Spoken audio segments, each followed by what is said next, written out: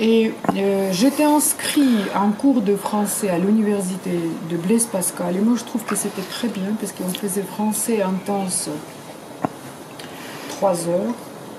Et on peut pas, euh, on peut pas euh, apprendre le français sans certaines bases, sans, certaines bases de la grammaire, parce que euh, à- à comment tu conjugues avec le verbe avoir ou être, c'est très important. En fait, il fallait apprendre par cœur tous ces verbes.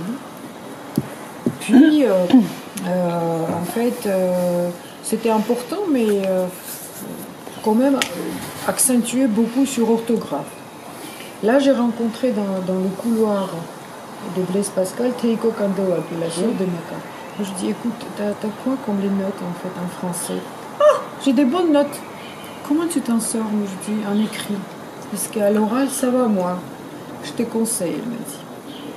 Pour les tests, tu te mets à côté des Chinois. Ils sont bons en écrit et mauvais à l'oral. Et tu copies sur eux. C'est ce que j'ai fait. Et tu y allais, J'ai eu mon examen et pas des Chinois. quand tu dis 3 heures, 3 heures par jour, tous les combien C'était du- de, de 9h30 jusqu'à 12h30, un Oui, truc comme mais ça. pas tous les jours, si, ah, tous les samedi. jours, Sauf tous les, d'accord, du lundi au vendredi. Oui. D'accord.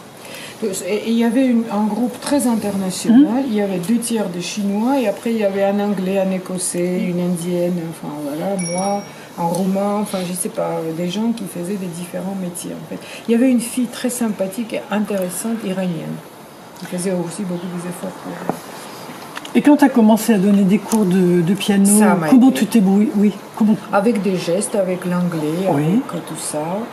Puis j'ai appris énormément à l'école primaire, Paul Bert, parce que j'ai suivi ma fille euh, aînée dans les études. Mhm. J'ai appris tous les mots invariables. J'ai appris subjonctif. Le français était particulièrement dur pour moi, j'avoue, hein, très dur.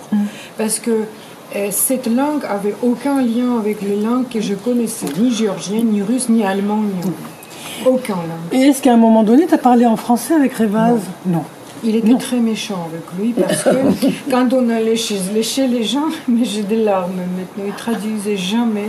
C'était, il m'a offert la trilogie, trilogie de Jean Giono, l'auteur qui était jamais traduit par les soviétiques parce que les soviétiques le considéraient comme un collabo.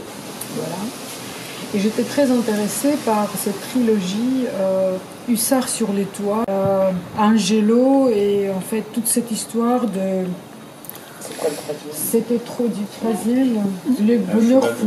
Ah oui. Les bonheurs fous. J'ai même maintenant cette, euh, ce, ce livre, c'était très dur. C'était très dur parce que j'ai passé euh, des, des heures et des heures sur les pages, mais j'avais cette habitude quand même. Parce que je savais qu'un jour j'arriverais, Tu cherchais la traduction systématiquement systématiquement. Systématiquement Tu allais regarder dans ton dictionnaire Ça tu- m'intéressait ce qu'il écrivait. Giono, il m'a complètement fascinée en fait. Puis j'étais, enfin j'aimais cette littérature. Tu avais, puis tu avais un j'étais très- dictionnaire français russe sur les jeux de photos Ouais. J'ai appris à lire en allemand et comprendre Werther. J'avais déjà cette pratique. Mais t'as souffert comme Werther. Oui. j'ai souffert, mais j'ai souffert, mais j'étais très obstinée en fait. Mais quand j'ai commencé à comprendre tous ces géonismes, tu sais, tous ces paysages, des couleurs, des, enfin, des là j'étais heureuse. Elle était dans les premiers Ouais. élèves en français. Mhm. Nana. Et Hélène, euh, l'Auvergnate qui est née ici, on, on écrivait dictée jusqu'à euh, jusqu'à la seconde. Et, et entre elles, elles parlent, elles, elles parlaient, elles- ou elles parlent quelle langue? Les filles, entre elles, elles parlent souvent français, géorgien, euh, et, mais euh, elles se fâchent, elles se fâchent en français. Émotionnellement.